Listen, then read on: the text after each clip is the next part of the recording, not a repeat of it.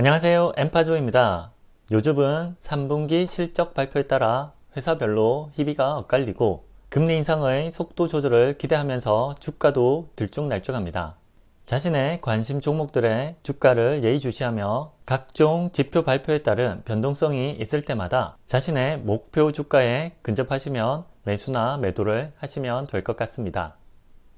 구독, 좋아요, 이번 영상에서 소개하는 BHP는 자원 생산업체로 구리, 철광석, 니켈 등을 생산하는 기업입니다.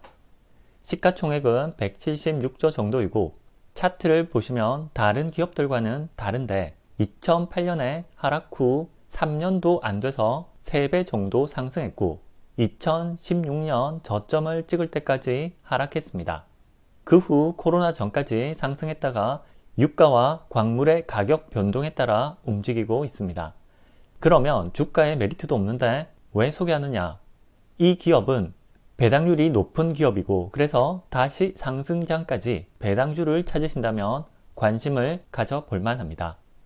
홈페이지 첫 화면에 Positioning for the Future, Taking Action on Climate, Doing What is Right and What We Say, Why Our Work Matters what we produce, where we operate, working with us가 있고 하나씩 간략히 살펴보겠습니다.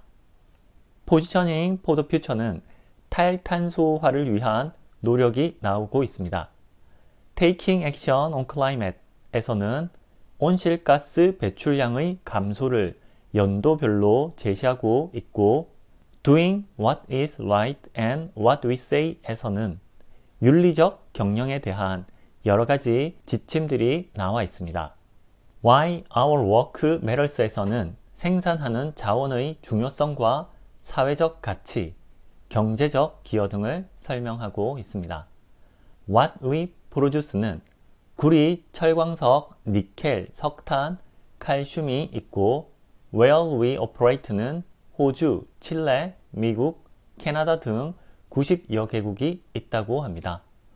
Working with Us는 채용 정보가 나와 있습니다.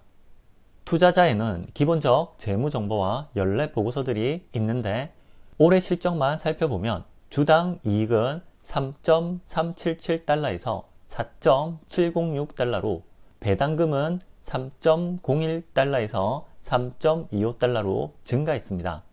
영업이익도 25.5억 달러에서 34.1억 달러로 증가했습니다.